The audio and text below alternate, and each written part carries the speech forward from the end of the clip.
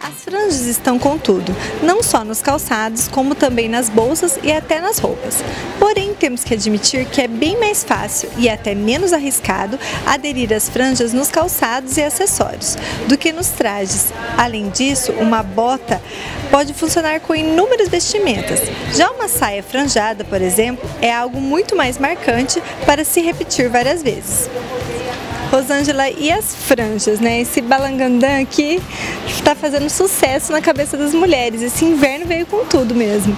Veio, a gente vai encontrar franja no sapato, nas bolsas, nas roupas. Lógico que no sapato é mais fácil de você usar e, e, e aproveitar mais as franjas, né? Porque uma roupa daí marca mais. É. Então as botas, principalmente, elas ficaram bem bacanas com franja, né? Olha, esse modelo é da Arezo. A gente teve franja até em sandália, né? Mas nas botas parece que combina mais, né? Porque ela já é mais pesada, um pouco assim. Esse modelo aqui é da, da Cota, já está fazendo maior sucesso. E ele dá movimento, né? Você anda, dá movimento na bota. E vai, vai vir mais modelos nesses tons de preto, de marrom, de nude, franja só vamos ter nessas cores. É, a gente tem visto bem isso que você disse, em roupa, bolsa, mas eu acho que o que mais combina mesmo talvez seja nas botas, porque dá um movimento quando você anda e com uma calça skinny ou uma saia bem curtinha, um shorts, ele acaba valorizando bastante o visual e é uma peça que não é difícil de combinar.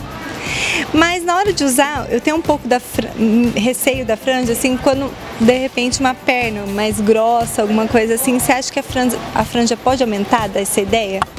Não, não vai aumentar porque é do tornozelo para baixo, né? Então, gente, eu vou receber botas ficando mais alto com franja também.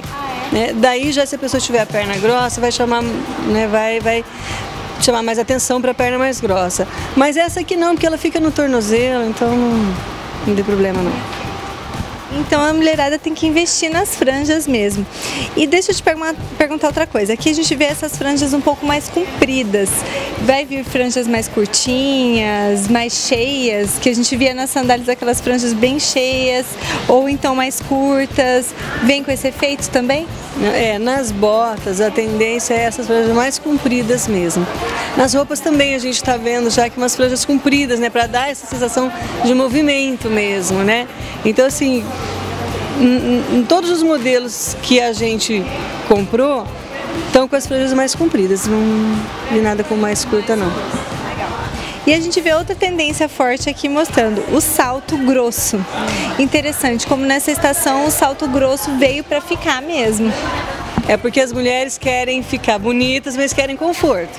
Então, baseado nisso, as fábricas têm visto que o salto grosso é um salto que é mais fácil, porque ele é confortável, né? Então, cada vez mais as mulheres procuram por salto grosso. E a gente podia dar uma dica de algum look para estar tá combinando com essa bota que você está mostrando. Eu vou fazer uma mágica aqui, vou me trocar e vou mostrar um look diferente para estar tá usando com essa bota. Que ótimo! E na TV é gostoso que a magia acontece. Pô, eu montei um look aqui para dar uma ideia para quem está em casa de como tá montando a bota. Eu coloquei com shorts, porque a gente acaba que não tem um inverno muito forte. Então a mulherada consegue usar agora nesse outono assim como eu estou e de repente colocar um casaco mais pesado. É mais ou menos assim que o pessoal tem procurado para estar tá usando com os looks aqui? Com certeza. O que mais está usando é com shorts, com saia. Às vezes eu brinco com as meninas aqui da loja que é, elas colocam a saia tão curtinha que parece o cos, né? Uhum. com as saias curtas, com vestido também dá para usar, né? Mas com shorts fica muito bacana, é o que mais usa mesmo. Depois dessa diquinha, acredito que o pessoal que está em casa pode usar e abusar da franja, que não vai ter erro nessa estação.